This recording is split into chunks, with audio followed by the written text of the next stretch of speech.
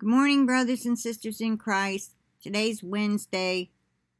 I guess it's the 30th. Let me see up here. Yeah, Wednesday, August 30th, and it's 9:12 a.m. I'm only on here to tell you um, please don't send your donations to the American Red Cross or any other government agency collecting up for hurricane victims.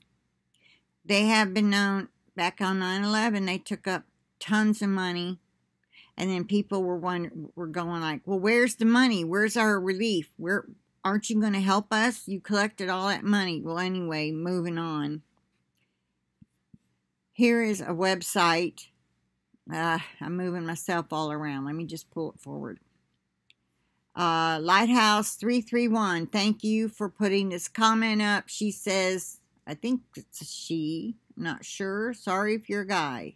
Can't tell with your name.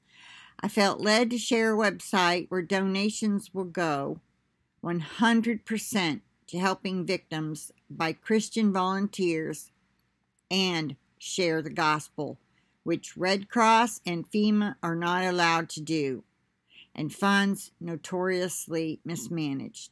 Yes, they were. This is uh, stevequayle.com. I'm going to uh, go there, copy the link, and put it in the description box for everybody that wishes that can send even $5. Let me tell you something. A thousand people, $5 each, that's $5,000 more than they would have had otherwise. So please send your money if you know of another charity that's taken up money that you know will put it all into this, helping these people please make sure you donate funds, whatever you can, to these sources and not to the Red Cross or FEMA. Okay, that's all I have to say on this video.